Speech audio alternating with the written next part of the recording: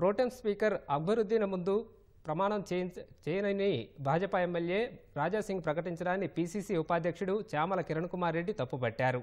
ఇది రాజ్యాంగ విరుద్ధమని అన్నారు. రాజాసింగ్ ప్రతి అంశాన్ని మతపర రాజకీయాలు చేస్తూ లబ్ధి పొందాలని చూస్తున్నారని ఆరోపించారు. రాజ్యాంగాన్ని ప్రతి ఒక్కరూ గౌరవించాలని కిరణ్ కుమార్ కోరారు. రాజాసింగ్ గారు ప్రతి అంశాన్ని కమ్యూనల్గా హిందుత్వ లైన్లో ఆలోచిస్తారు. కానీ ఒకటే చెప్తున్నా నేను.